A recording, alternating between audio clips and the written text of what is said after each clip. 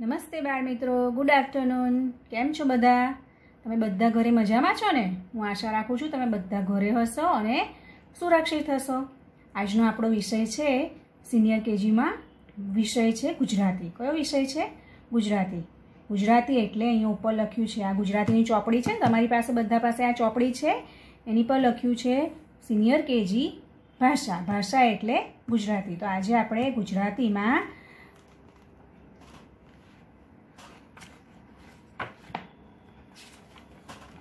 પાના નંબર ચોત્રીસ કાઢવાનું છે. કયું પાનું કાઢવાનું છે? ચોત્રીસ. ત્રગળ ચોગળ, ચોત્રીસ.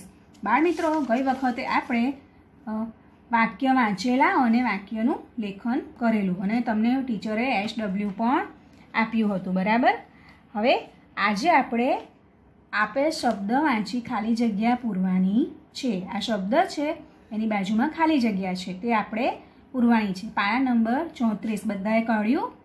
આ પાના નંબર પર શું લખ્યું છે? સૂચના વાંચો. આપેલ શબ્દ વાંચી ખાલી જગ્યા પૂરો. આ શબ્દ છે, એની બાજુમાં એની ખાલી જગ્યા છે. એટલે શબ્દ પરથી આપણે ખાલી જગ્યામાં ખુટ્ટો મૂળાક્ષર લખવાનો છે. અહીંયા જુઓ બાળ તારીખ લખેલું છે ઉપર, છે ને? તારીખ એની બાજુમાં ખાનું ખાલી છે. તો આજે કઈ તારીખ થઈ? તો આજે આપણી તારીખ છે, બધા મારી સાથે લખજો, બરાબર? બગડે ને મીંડે વીસ. પહેલા ખાનામાં લખો બગડે ને મીંડે વીસ. વચ્ચેના ખાનામાં સાત અડે સાત. અને આ છેલ્લા ખાનામાં બગડે ને મીંડે વીસ છે, એની બાજુમાં લખો બીજું બગડે ને મીંડે વીસ, બે હજાર વીસ. વી, પહેલા ખાનામાં છે વીસ, સાત, અને છેલ્લા ખાનામાં બે હજાર વીસ. એ આપણી સાલ છે, બરાબર? બધાએ ફક્ત એક જ પાના પર તારીખ લખવાની છે. તો ચાલો બાળમિત્રો, આપણે આજનું લેસન શરૂ કરીએ. જુઓ, અહીંયા શબ્દ આપેલો છે. એ શબ્દને પહેલાં આપણે વાંચીશું, પછી એની બાજુમાં જે ખાલી જગ્યા છે તેને આપણે પૂરવાની છે. તો ચાલો બાળમિત્રો, પહેલો શબ્દ કયો છે આપણે બધા વાંચીએ. ક અડ શ.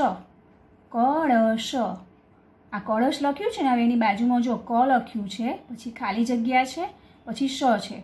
તો વચ્ચે કયો મૂળાક્ષર આવે? અહીંયા કયો મૂળાક્ષર છે વચ્ચે? અળ. તો અહીંયા આપણે શું લખવાનું? અળ. શું લખવાનું? અળ. હવે થઈ ખાલી જગ્યા? કળશ. હવે બીજી ખાલી જગ્યા છે. અહીંયા શબ્દ શું લખ્યો છે? ન, ગ, ર. ન, ગ, ર. હવે અહીંયા ખાલી જગ્યામાં શું છે? વાંચીએ. ચાલો, ન ન લખેલું છે, પછી ગ છે. હવે છેલ્લો મૂળાક્ષર કયો છે? આ છેલ્લી જગ્યા ખાલી છે. તો ન, ગ અને છેલ્લો કયો મૂળાક્ષર છે? ર. તો એની બાજુમાં આપણે લખીશું ખાલી જગ્યામાં ર. શું લખીશું? ર. ન, ગ, ર. શબ્દ બન્યો. હવે એની નીચેના શબ્દ છે વ, ખ, ત. વખત હવે અહીંયા ખાલી જગ્યામાં છે પહેલી ખાલી જગ્યા છે, પછી ખ અને ત છે. તો પહેલો મૂળાક્ષર કયો છે અહીંયા? વ. તો આપણે ખાલી જગ્યામાં શું લખવાનું છે? વ. શું લખવાનું છે? વ. વ, ખ, ત. થયું? હવે આ શબ્દ નીચે છે એની. ભ જ, ન. ભ જ, ન. હવે અહીંયા જો ખાલી જગ્યાની બાજુમાં છે ને ભ લખ્યું છે, પછી ખાલી જગ્યા છે અને પછી ન છે. તો ભ પછી શું કયો મૂળાક્ષર છે? તો જ. તો અહીંયા વચ્ચે ખાલી જગ્યામાં આપણે શું લખીશું? તો જ લખીશું. શું લખીશું? જ. શબ્દ બન્યો ભ, જ, ન. થયું? હવે એની નીચેનો શબ્દ છે સ, ર, સ. સ, ર, સ. હવે એની બાજુમાં ખાલી જગ્યા છે તો સ લખેલો છે, પછી ખાલી જગ્યા છે. ને પછી બીજો સ લખેલો છે. તો આપણે અહીંયા શું લખીશું વચ્ચે? સની બાજુમાં શું છે? ર. તો અહીંયા વચ્ચે શું લખીશું? ર. શું લખીશું આપણે? ર. સ ર, સ. થયો? ફરીથી સ, ર, સ. હવે અહીંયા સામેની સાઈડ છે. શબ્દ લખ્યો છે કયો? વાંચો જો બધા. ર, ત, ન. ર, ત, ન. હવે અહીંયાની બાજુમાં ખાલી જગ્યા છે. પહેલો શબ્દ મૂળાક્ષર લખ્યો છે ર, પછી ખાલી જગ્યા છે અને પછી ત લખ્યું છે. તો વચ્ચે શું લખશું તો આપણે? ર, ત, ન. આમાં ખાલી જગ્યામાં થોડી ભૂલ છે. જો ર, પછી ત વચ્ચે હોય ને અહીંયા ન હોય, તો આ તની જગ્યાએ આપણે છે ને અહીંયા આની પર ચોકડી મારી દઈએ અને અહીંયા ન લખી દઈએ. શું લખીએ? ન. બરાબર? હવે જુઓ, હવે શબ્દ બનશે. આ રતન છે ને આ અહીંયા ખોટું લખેલું છે ચોપડીમાં, પ્રિન્ટમાં. મિસ્ટેક છે. એટલે આપણે એને ચોકડી મારીને ન લખ્યો. હવે ફરીથી આપણે શબ્દ વાંચીએ. ર, ત, ન. તો આ ર, પછી ખાલી જગ્યા છે અને પછી ન. તો ખાલી જગ્યામાં આપણે શું લખીશું? ત લખીશું. શું લખીશું? ત. બરાબર? થઈ ગયો રતન? રતન. હવે એની નીચે શબ્દ છે શ, ર, દ.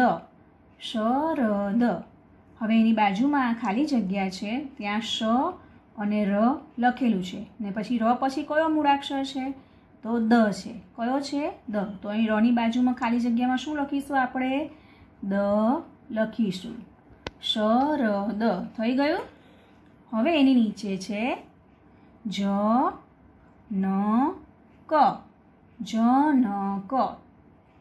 હવે અહીંયા પહેલી ખાલી જગ્યા આપી છે એની બાજુમાં. પછી ન અને ક છે.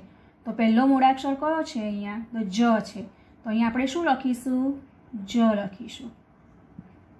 જ, ન, ક. થઈ ગયો શબ્દ? હવે એની નીચે છે મ, ગ, ન. મ, ગ, ન. મગન શબ્દ લખેલો છે ને? હવે આપણે પણ અહીંયા ખાલી જગ્યા, જો પહેલો શ મૂળાક્ષર મ લખેલો છે, પછી ખાલી જગ્યા છે અને પછી ન લખેલું છે. તો મ, પછી શું છે અહીંયા વચ્ચે? તો ગ છે. તો આપણે ખાલી જગ્યામાં શું લખીશું? ગ લખીશું. ગ. મ, ગ, ન. થઈ ગયો શબ્દ? મ, ગ, ન. હવે આ નીચેનો શબ્દ છે. વાંચીએ, ચાલો. પ, લ, ક. પ, લ, ક. હવે એની બાજુમાં લખ્યું છે પ, પછી ખાલી જગ્યા છે ને ક છે. તો પ પછી કયો મૂળાક્ષર છે? લ છે. તો અહીંયા વચ્ચે ખાલી જગ્યામાં શું લખીશું આપણે? લ. પ, લ, ક. લખાઈ ગયું? પ, લ, ક. જો બાળ મિત્રો, આ રીતથી તમે સી ડબલ્યુ આ લખ્યું છે, એટલે આ ક્લાસ વર્ક આપણે કર્યું. બરાબર? હવે એની નીચે આ એસ ડબલ્યુ છે. એટલે આ આ વર્ક તમારે ઘરે કરવાનું છે. ક્યાં કરવાનું છે આ? ઘરે કરવાનું છે. તો ફરીથી આપણે એકવાર બધા શબ્દોને વાંચી જઈએ. ચાલો. ક, ળ, શ. કળશ પછી છે ન, ગ, ર. ન, ગ, ર. ત્યારબાદ છે વ, ખ, ત. વ, ખ, ત. પછી છે ભ જ ન. ભજન. પછી નીચે શબ્દ છે, સ, ર, સ. સરસ પછી અહીંયા આ બાજુ છે, ર, ત, ન. રતન ત્યારબાદ છે, શ, ર, દ. શરદ પછી છે, જ, ન, ક. જ ન ક. ત્યારબાદ છે મ, ગ, ન. મ ગ ન પ, લ, ક. પ, લ, ક. બાળમિત્રો, આપણે આ શબ્દ વાંચ્યા ને? શબ્દ વાંચીને ખાલી જગ્યા પૂરી. તમારે આ સી ડબલ્યુ આપણે કર્યું. હવે આ એસ ડબલ્યુ છે. તે એસ ડબલ્યુ તમારે ઘરે મમ્મી પાસે બેસીને, તમારે સી ડબલ્યુ પણ લખવાનું અને આ એસ ડબલ્યુ પણ મમ્મી પાસે ઘરે પહેલાં શબ્દ વાંચજો. પછી એ શબ્દ પ્રમાણે ખાલી જગ્યા પૂરજો. ને સરસ અક્ષરે લીટીને ઓળીને લખવાનું છે બધા એકદમ ફાઇન બરાબર? અને સરસ રીતથી બધા શબ્દ વાંચી અને સારા અક્ષરે લખજો. ત્યારબાદ આપણે બીજી વાર સરસ બીજાની પ્રવૃત્તિ લઈને મળીશું. આવજો.